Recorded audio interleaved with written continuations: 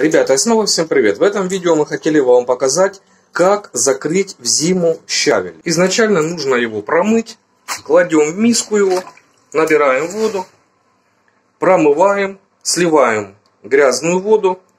Нужно добиться, чтобы водичка была чистая. И минут на 20 на 30 оставляем его в воде, чтобы он немного как говорится, промылся еще тщательнее. Закрывать щавель мы будем в пол-литровых банках. Для этого мы сейчас должны баночки простерилизовать. Подробно, как стерилизовать банки, мы сняли отдельное видео. Сейчас появится рекомендация, поэтому, если что, то перейдете, посмотрите и научитесь. Значит, ждем, когда баночки все простерилизуются. А тем временем мы сейчас займемся нарезкой щавля. На одну банку пол-литровую идет примерно вот таких вот пару пучков, ребят. Ну, плюс-минус. Может быть, чуть-чуть меньше, но ориентируйтесь на два вот таких вот пучка. Хвостики все не обрезаем, а только вот начало. Вот, обрежем чуть-чуть. Это все уберем. А вот эти хвостики вот так вот, вот оставим. Почему их оставляем? Потому что в них содержится много кислоты. Теперь визуально смотрите щавель. Возможно, где-то есть порченные листики. Их нужно просто оторвать. Выравниваем пучок, обрезаем вот эту нитку. И сейчас займемся нарезкой. Нарезаем щавелек помельче. Вот сейчас мы начали нарезать стебельки.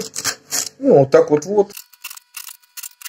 Еще раз пучок этот подровняем. Листья также нарезаем мелко как и стебли. Единственное, что сильно сжимайте пучок, чтобы он не расползался. И теперь в готовую стерилизованную банку набиваем щавель до плотна. Значит, набили доверха. И берем вот так вот рукой, чистой рукой. И вот так вот его утрамбовываем. Утрамбовали. Еще засыпаем, но пока ничего не утрамбовывая, вот таким образом, ребят. Засыпали до верха и вот так утрамбовали. Опять берем щавелючек, делаем укладочку сверху, вот так вот. И сейчас вот так вот утрамбовали. Видите, щавель плотно укладывается. И, соответственно, его больше влезет. Значит, одну баночку забили, примерно ушло полтора пучка щавля, ну, может быть, чуть-чуть больше, может, чуть меньше. Ребят, тут уже ориентируйтесь от, от толщины пучка. Подготовили вторую банку стерилизованную, сейчас она остывает. Но сейчас мы нальем в чайник водичку для того, чтобы ее закипятить. И эту воду будем заливать в щавель, кипяток будем заливать в банку со щавлем. Ну и смотрите, одновременно он крышкой стерилизуется.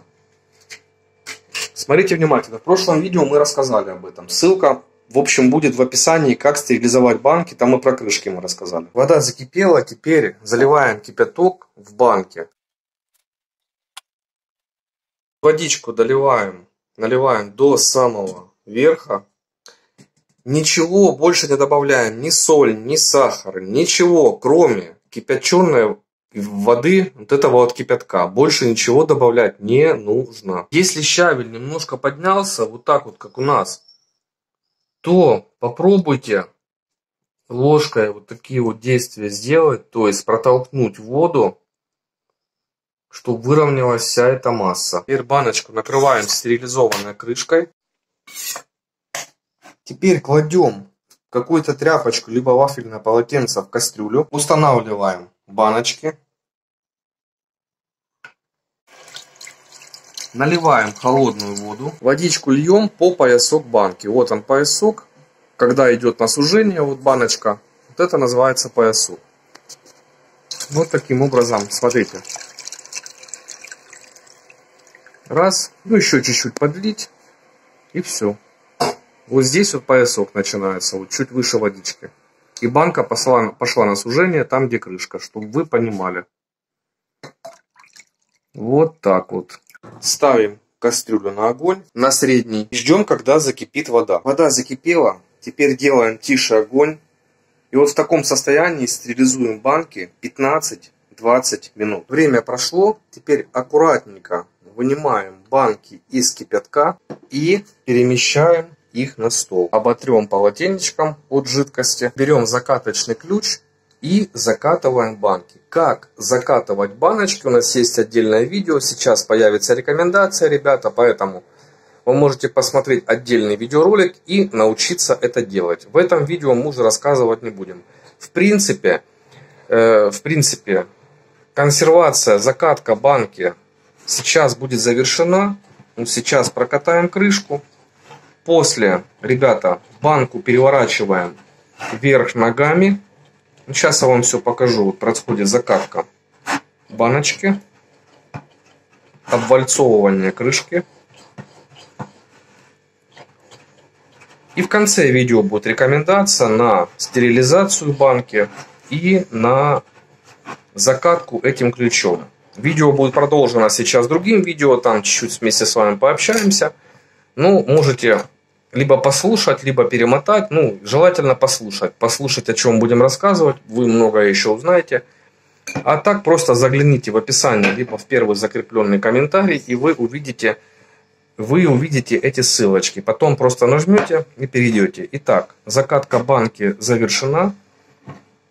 Вот таким образом переворачиваем. Для чего? Чтобы сейчас убедиться, удостовериться, что банка не протекает нигде, жидкость не вытекает. Все, все отлично, правильно?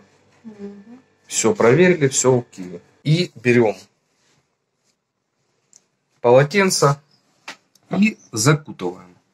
Нам нужно дождаться, чтобы банка полностью остыла. Это может быть и сутки, это может быть и двое суток. Поэтому вам нужно дождаться полного остывания. А на этом все, ребята. Всем спасибо за просмотр. Надеюсь, вы научились закрывать щавель.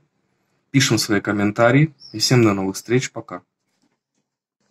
Ребята, ну что хотел бы вам сказать по нашему каналу. Значит, в этом году у нас э, съемок по консервации, по консервашкам зимним мало. Почему? Потому что у нас как бы запланирована покупка недвижимости. Вот, соответственно, все деньги до копейки уходят в другое русло. Это зимой мы по минимуму, по минимуму будем, в общем, кушать консервации. Возможно, для здоровья это полезно. Меньше соли будет попадать в организм. Вот. В том году, конечно, мы наснимали очень много видосов, поэтому есть плейлисты, есть плейлист, он называется, по-моему, «Заготовки в зиму». Как-то так. В общем, плейлист, этот найдете на канале на нашем. Вот. Значит, мы закрывали помидоры, огурцы, синенькие, кабачки, ассорти делали, огурцы, помидоры, цветная капуста. Потом, что еще из овощей мы закрывали, что я не озвучил еще? Томат. Ну, томаты, в общем. Томат делали для борща. Для борща питьевого не делали. Нет. Для борща закрывали, значит, томат, Типа посмотрите. морс. Типа морса, да. Томат, как бы, ну, морс, в общем. Дальше. Из ягод, что мы закрывали? Мы закрывали вишню, компот прям делали. Абрикос, Абрикос, виноград. виноград. И, в общем, какие-то еще, ребята, ассорти. Ну, в общем, консервашек у нас отснято достаточно. А также обратите внимание обязательно на вот эти вот видосы, сейчас покажу. Вот как стерилизовать банки. Есть отдельное просто видео обучающее. Прям на канале оно существует. А также, ребят, сейчас покажу. Вот, как закатывать банки. Есть обучающее видео. В этом видео этого ничего не будет, просто перейдете. В конце видео появятся рекомендации этого. А также я закреплю еще в описании под видеороликом эти ссылочки. Прикручу. Для чего? Для того, чтобы вы перешли и посмотрели. Если вдруг не можете закатывать банки, стерилизовать, ну, в общем, все. Или только учитесь. Или только учитесь, да. Мы это ежегодно делаем. Бывает, комментаторы пишут, что как-то неправильно вы что-то делаете, как-то у вас не так, а у меня вот так, а вы как-то не так, а мы вот так. Ребят, ну, Сколько людей, Да, столько и мнений. да, сколько людей, столько и мнений, это раз. Второе, ну, ни одна консервация нас не подвела. Ну, как сказать, не подвела? Ну, смотрите, ну, закрыли вы, допустим, 50 банок щавля, ну, к примеру, да. Ну, пару баночек, ну, по-любому вздуется, э, и не зависит от того, как вы закрывали, правильно, неправильно. Это естественный процесс, где-то вы не домыли тот щавель, где-то какой-то процесс образовался, завелся этот микроб, так скажем, и погнала банка бродить. Поэтому в основном все большее количество, в 99%, 99% банок у нас целые. Бывает там одна-две баночки, крышка вздуется. Ну, у вас то же самое будет, ребят, поверьте, как, как бы вы ни старались. Бывает, конечно, иногда, что вообще все идеально, но это, не знаю, это бывает, наверное, в редких случаях раз в 10 лет. Такое может происходить. Вот, поэтому имейте в виду, все это снимается, есть, да?